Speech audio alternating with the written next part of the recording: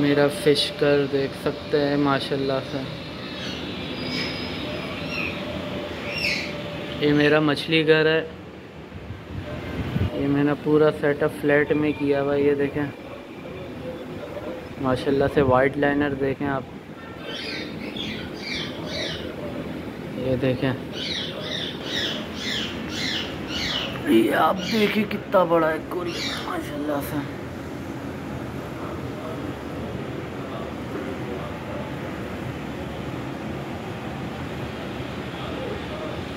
माशाल्लाह माशाल्लाह।